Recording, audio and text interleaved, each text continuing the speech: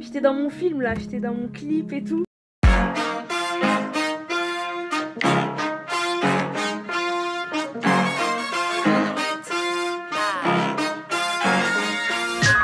Mon cœur est assez grand pour aimer deux villes.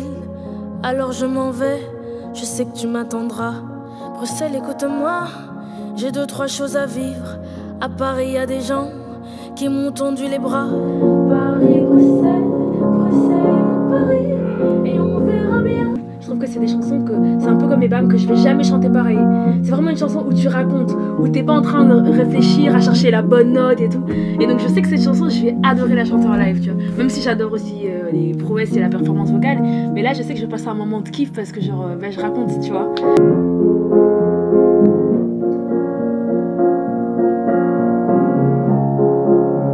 Et puis tu m'as gardé, j'ai déménagé. Mon cœur est mis. Comment tu t'es fait stopper dans ton kiff C'est trop, c'est, ça c'est trop dur, ça c'est trop dur. J'étais dans mon film là, j'étais dans mon clip et tout. Promis, on inventera des jours qui ressemblent à des jeux et des nuits infinies. Et vous trouvez pas que je te promets pas le ciel? Il nous manque un petit truc pour que. Si, un petit peu, ouais. J'ai Mais je sais pas ce que citation là. j- là, j'ai déjà un peu rajouté, c'est-à-dire que j'ai. Tu vois, vu que c'est sur deux pistes, j'avais un petit peu remonté le chorus. Ou peut-être que, je mais- dois. Soit on... peut-être que doubler ça, ça fera l'affaire. Je sais pas si ça fera l'affaire. En fait, Peut-être l'harmoniser dou- Doubler, directement. ça, ça, ça, ça donne rarement plus d'énergie. Ouais, Mais c'est ça, ça. ça, ça élargit, mais ça, c'est pas. Mm. Donc, faut, on verra s'il y a d'autres prises. Euh, Après, je trouve qu'en termes d'interprétation, c'est ça qu'on veut. hmm. Si je, si je pousse trop, ça va pas donner Non, ce, c'est ce ça, petit donc- truc émotionnel peut-être qu'on juste à recherche. nous de, de, de- d'un peu faire piquer, euh, piquer la voix. Fais-le, fais-le plus patate. Plus Ouais.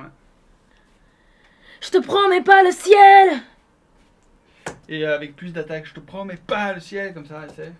Je te promets pas le ciel Molto bene. Exceptionnel, tout simplement Il y a une note ici à la fin qui est un peu. Ouais, ici j'ai l'impression que tu fais. Ouais, tu fais tout simplement. Mais, mais l'autre fait. Tout simplement. Mhm. Donc ça de- descend un peu moins dans, dans le lead. Tout Ah. simplement Ouais, c'est ça. Exceptionnel, tout simplement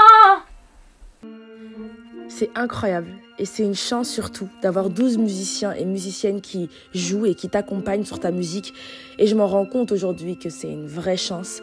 Je trouve que la plupart de mes chansons sont vraiment nées à ce moment-là, comme si elles avaient plus de sens finalement enregistrées avec les violons et les violoncelles. C'est un instrument tellement beau et classe qui est capable de groover, de créer de la tension aussi, chose que j'aime beaucoup. Mais à l'inverse, c'est aussi un instrument qui t'apaise. Et c'est ça que je trouve beau. C'est cette possibilité de vraiment nous faire ressentir bah, plusieurs choses, voire plein de choses en même temps.